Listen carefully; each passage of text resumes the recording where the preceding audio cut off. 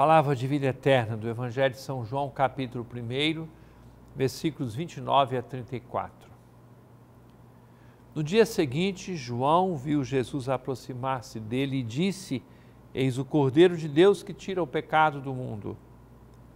Dele é o que eu vos disse: depois de mim vem um homem que passou à minha frente, porque existia antes de mim.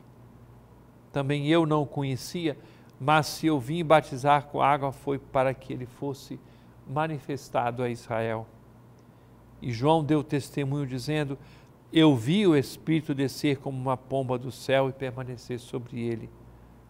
Também eu não o conhecia, mas aquele que me enviou para batizar com água me disse: Aquele sobre quem vires o Espírito descer e permanecer, este é quem batiza com o Espírito Santo. Eu vi e dou testemunho: este é o Filho de Deus. Caríssimo irmão, caríssima irmã, todas as missas nós ouvimos de novo: Eis o Cordeiro de Deus que tira o pecado do mundo.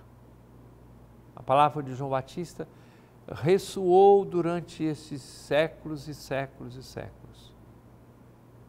A cada missa, quando vamos comungar, ou em outra celebração onde se dá a Sagrada Comunhão, sempre se diz: Eis o Cordeiro de Deus, aquele que tira o pecado do mundo. João Batista deu testemunho dele.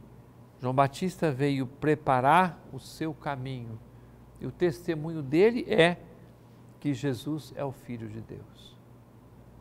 Nesses primeiros dias do ano, acorramos para perto de Jesus, façamos como os magos que celebraremos dentro de poucos dias a festa da Epifania, façamos como eles, corramos atrás da estrela da nossa consciência que ela nos conduz a Jesus. Comprometamos-nos a dar testemunho de Jesus com a nossa vida, com o nosso comportamento e também com nossa palavra. É palavra de vida eterna.